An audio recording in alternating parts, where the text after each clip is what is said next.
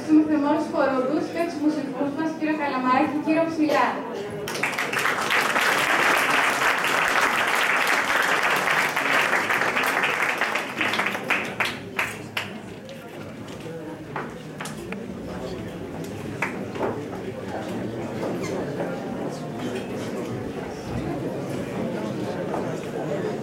Μέρος της χοροδίας των Επτανησίων Βενετσίων. Σας ευχόμαστε καλή χρονιά και ό,τι καλύτερο επιθυμείτε.